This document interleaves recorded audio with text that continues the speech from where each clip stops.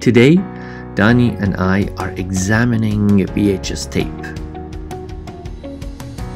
VHS stands for Video Home System. Many, many years ago, when I was the age of Daani, before the era of streaming and DVDs, VHS tapes and players were the magical way people used to watch movies. And they were extremely popular.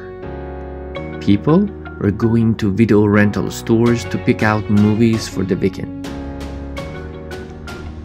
The best selling movie sold on VHS was The Lion King in 1995.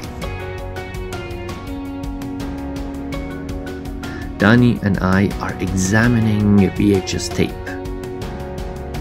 It was quite a simple process. We started by unscrewing a few screws and simply remove the frame.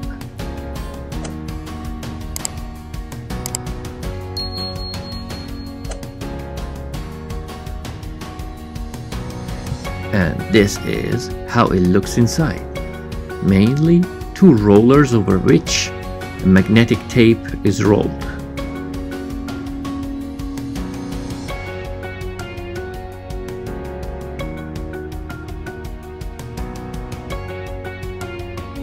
The scenes of movies were recorded on this pile of magnetic tapes.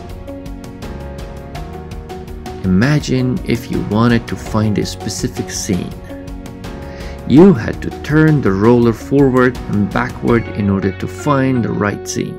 Good luck, since some VHS cassettes contain more than a thousand feet of magnetic tape. Around 2002, DVD sales overtook VHS, and the last VCR was made in 2016. Since then, VHS and VCR have become part of the history. A history and a technology that we explore today with Daani. Here, we unrolled the VHS tape, and you can see the beginning of the movie and its end. Here and here.